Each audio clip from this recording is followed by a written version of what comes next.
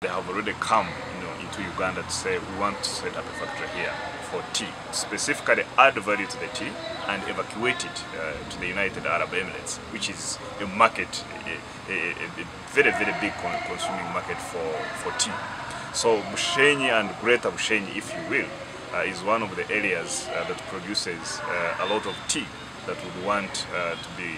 to, to, to get the, the value addition and evacuation. Such a big tea factory should be in Buhweju. It is Buhweju among the five districts of Greater Bushenyi that has more tea,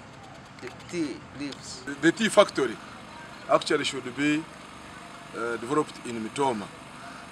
because Mitooma currently we have the leaf, the tea leaves which can feed this factory